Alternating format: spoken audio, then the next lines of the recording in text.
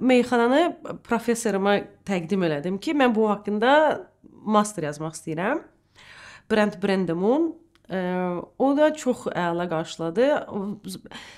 Meyxana göstərən adamlar hamısı wow effekt olur ki, bu nədir də? Bu həm rapdir, həm həm deyil, həm çox folklorikdir, amma həm də battle var orada. Onlar battle-ı başa düşürdülər də ki, belə bir dialoq var.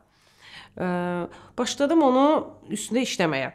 2009-da gəldim Azərbaycana, ə, sahə tədqiqatı eləməyə, field study. Orda ə, iki cür tədqiqat eləyirdim. Biri bibliotekada, yəni source-ları yığırdım da, hansı ki, literat nə literaturda yazılı meyxana haqqında nə var və Bakı kəndlərində meyxanaçılarla görüşürdüm, informantlar kimi, onlarla intervyu olurdum və onlardan çox dəyişik meyxanalar yığırdım.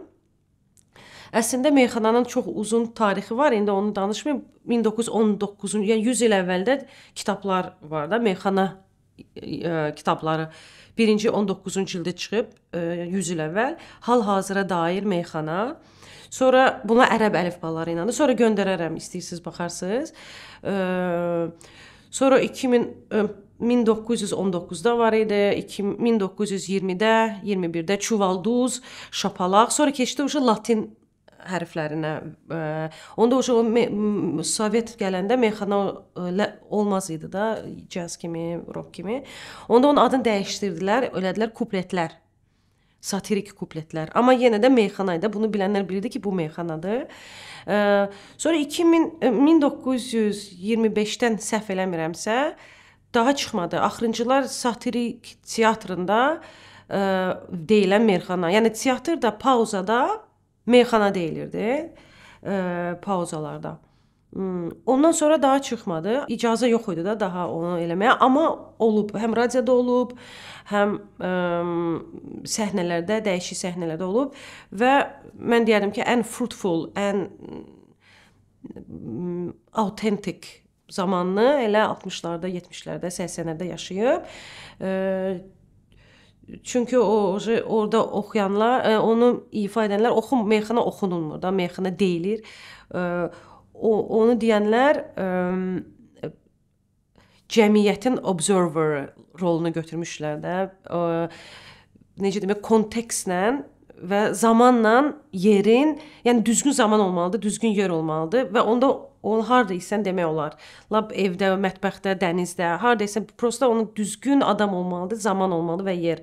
Kontekstdən çox asılı bir e, folklor kimidir də demək olar. Amma mən folklor institutuna getdim. Dedilər, mən atdılar oradan bayıra. Yo, yo, yo, biz meyxana ayıbdır, ayıbdır çox. Biz məşğul olmuruq belə şeylərlə ədəbiyyat institutu, folklor institutu, etnografiya. Bunlar heç biri meyxana ilə məşğul olmaq istəmirlər də. Çünki çox aşağı bir statuslu olan bir ə, janrdır. Amma Azərbaycanda formula ilə improvizasiyanın qarışığı, yəni ə, bərabər necə demək, qarşılıqlı Formula və improvizasiya qarşılıqlı 3 dənə janr var bildiyim qədərilə. Aşıq, muğam və meyxana. Formul var, məsələn ritm var və improvizasiya şeirdir. E, muğamda şeir formuldur, musiqi improvizasiyadır. Aşıqda da yenə də qəzəllər. E, yəni formula ilə elə bil ki, improvizasiyanın e, mutual play Amma onu qəbul, o birislər qəbul edirdilər, bunu qəbul eləmirlər. Onda mən daha da belə oldum ki, yox, onda oju yazmalıyam bunun haqqında da yazdım və masterın adı Meyxana ə, yer və məkan poetikası adında çıxdı o suda və mən deyirəm ki, professorlarım çox sevdi onu, çox dəyişik konfranslara yolladılar onu. Ə, və o zaman o qədər mənim əlimdə meyxana var idi, masterimi də qutarırdım. İl 2011-12 çox belə end of era kimi gəlirdi mənə belə məyusluq ki, bunu qoyacağam şkafa, gedəcək, bağlanacaq, heç kim oxumayacaq, kimə maraqlıdır orada polkada qalacaq. Və o qədər maraqlı meyxanalar var idi ki, 19-cu il, yəni 100 il əvvəl meyxanalarını açarsan, yumurtanın çörəyin qiyməti nə idi o vaxtı, onu taparsan da orada. Belə istəmədim ki, onlar yox olsunlar. Ona görə dedim ki, zaten də prodüserlik eləyirdim, DJ-lik eləyirdim. Yəni bu paralel zaten var idi. Dedim ki, və onları oxuduqca analiz edədikcə ə, oxuyurdum da başımda bir yerdə onlar həmişə məndə ritmlə gedirdi də, tekst analiz eləsəm də. Sonra çox təbii olaraq başladım onları yəni çox fikir və şey eləmədim, qərar vermədim ki, mən bunu apply eləyəcəm musiqiyə. Prosta elə alındı ki, yazdığımız mahnılara onları qoymağa başladıq ki, itməsinlər, ölməsinlər. Finlandiyadan Mesak adında bir prodüserlə işləyirəm, çoxsu. Amma biz production-a şey baxırıq da, çox open source, hamı nə istəyir eləsin və prodüserlərlə, başqa prodüserlərlə collaborationlar eləyirik və çox tamamilə başqa bir rezultat alınır. Mənim üçün mənə elə gəlir ki, bizim ə, mahnılar çox dəyişikdir. Amma bu mənə elə gəlir. Bəlkə sizə başqa cür gəlir. Mənə elə gəlir ki, məsələn də 2012-də çıxan ə, 2000 ə, da 2023-də çıxandan dəyişikdir. Ə, çünki hamısı hamısının özünün orqanik həyatı var da. Məsələn, pul mahnısını götürək. Biz bunu mən onu çox belə reggaeton dancehall eşidirdim. Ona görə mən də reggae-də məsələn dub sirenlər filan qoya qoymuram. Qoyaram amma onun ustası var da özü. Sonra onu İsveçrədən bir prodüserə göndərdim. O göndərdi. Dub sirenlər oldu. Reggaeton kimi, e, reggaeton deyirəm bağışlayın. Reggae dancehall kimi ə, e, o e, eşidilməyə başladı. Amma sonra dedim ki, e, microtonal gitar, yəni bizim gitar stildə gitar da çox yaxşı olar buna. E, sonra Rəhman Məmmədliyə göndərdik onu və onun yəni sololarını bilirsiniz də, o belə uzun soloları var. E, o da elə bir şey göndərdi. Sonra biz onu kəsdik, doğradıq. Belə belə alındı. E, elektron meyxana demək olar. Amma e, produce olunmuş meyxanalar indi də var, amma mənə elə gəlir ki, onlar fərqlidir. Çünki e, onlar taktı saxlayırlar. E, yəni e, syncopated, synkopatlanmış e, tripletlərdə onlarda bu qalıb, amma biz onu 4-4-ə keçirmişik də belə ki, qridə Avropa qulağına daha ə, rahat gəlsin. Belə. Sonra birinci vinyl plastinka EP olaraq 2012-də çıxdı. Finlandiya ə, labelində və orada iki dənə də remix ə, və aldıq. Biri ə, Mouse on Mars Berlindən, bir də Babazula Türkiyədən, Mad Barber, bir də Baku Hipster ə, meyxanalarına. Sonra ə, 2014-də Alman labelində Ping Pong deyə bir labeldə Maşın və Molla çıxdı. Onun da Alman remixləri oldu, bir iki dənə. Sonra Long Play albom çıxdı 2018-də. O da ə, Global Music, yəni dünya musiqisi, elektronik dünya musiqi labelində. O da Asfalt Tango. O o albom çıxdı. Sonra biraz ara verdim. Mən biraz yavaş işləyirəm. Tənbəl demək istəmirəm özümə, amma tələsmək şeyim yoxdur da. Tələsəndə pis hiss edirəm özümü.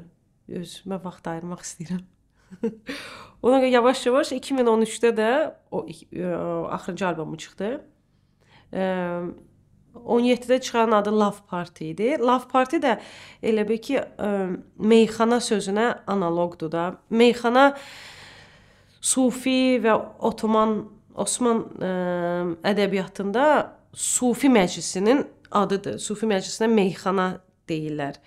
Ə, və ola bilər ki, bizim janr adını oradan götürüb, ola bilər də götürməyib, amma eyni sözdür də. Ə, Love Party-də o sözün mənası da sufi ədəbiyyatında, onun da mənası ə, aydınlanan, yəni spiritual lava, ə, çatan ən axırıncı mərhələdir də. Yəni burada o spiritual lava çatırsan da ən axırıncı aydınlanan nirvana yeri meyxanadır. Yəni söz səni mey deyil, amma söz səni intoxicate eləyir də. Söz səni wow eləyir. Yəni sevgi məclisi. Spiritual sevgi məclisi. O da ekvivalent olar Love Party e, kimi çıxdı. Axırıncısı da ki, Asab, Asab inşallah idi adı. O da yenə iki söz. Yəni Yatosiba, Asap inşallah, ə, Love Party hamısı iki sözdən. Mənim də adım Zuzu, iki iki heca, Tatu, yəni Mesak. O da bizə elə iki hecalarla gedirik. Ona da Asap inşallah qoyduq adını. Yəni ki, ə, belə də radikal dəyişik ə, ya Allah Allah Allah izin verərsə tez olar, amma Allah izin vermirsə olmayacaq da. Yəni bir-birlərini ə, zid də, yəni ə, müharibə dövründə yazırdım onu. Çox belə də müharibə dövründə yoga eləmək kimi bir şeydir də. Yəni ki, asab inşallah as soon as possible but only if God lets you. Ə, yəni ə, ziddiyyətlərin hər şey ziddiyyətlərin içindədir elə bil də bizim həyatımızda hər şeydə. Ona görə biraz müharibədən də bu Qarabağ müharibəsindən də pis olmuşdum. Ona görə o asab inşallah hər şey yaxşı olar kimi ad qoymuşduq ona. Avropada çıxışlar əslində çox dəyişik olur. Çox dəyişik yerlərdən gəlir. Festivallar. Axırıncı 4 ayda Parisdə olmuşam, Nant, Nantda olmuşam, Milanda konsertimiz var idi. E, Torinoda, e, İsveçrədə çox olur konsertlər. Helsinkidə də olur, amma o Helsinkidə yaşayıram deyə orada oje çox şey yoxdur da mənim üçün. E, stimuli yoxdur orada çalma ev Yəni iş kimi olur. Helsinkidə çalmaq gəlsən, gəlsən.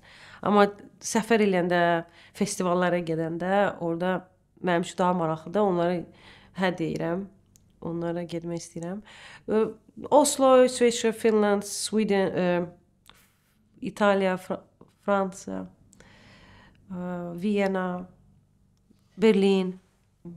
Mən özüm Məşdağalıyam. Məşdağda da vay vay vay. Orada belə.